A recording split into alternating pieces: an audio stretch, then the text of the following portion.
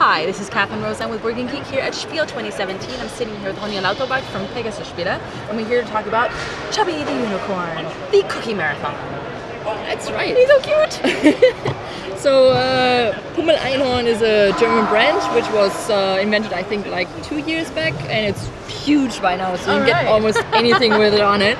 I completely love it. so, yeah, so now we're doing a game. Yay!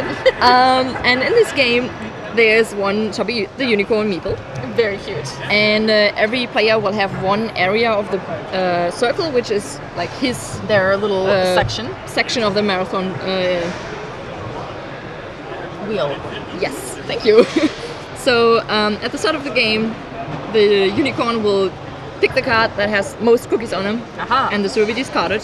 And this is where the unicorn starts. The player whose area this is can decide in which way the unicorn faces. Aha. So that's the direction which the unicorn is going to be going. And then, uh, clock, going clockwise order, every player will get to roll the die and move the unicorn. Aha.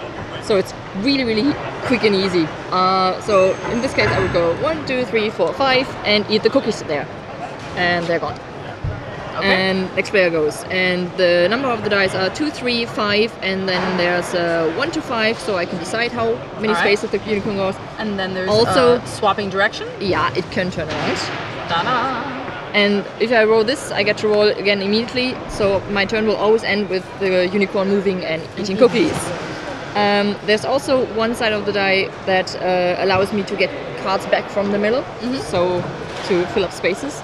Um, when I do that, it's a good idea to keep in mind where cards have been discarded too. So now I got the four back, but I know the eight is somewhere in here, so I might want to get that. Cause the game ends once one player doesn't have any cookies anymore, and the player who then has the most cookies on the cards in total wins the game because he still has a lot of cookies for the uh, hungry though the unicorn has and now you're the big best friend of So nice, Chubby. quick little fun game with a very cute artwork Yeah. on it. about and you can play it from like six years on, so you can play it with children too. And Nice fun family. Yeah. that is Pummel Einhorn. Der giftige Marathon.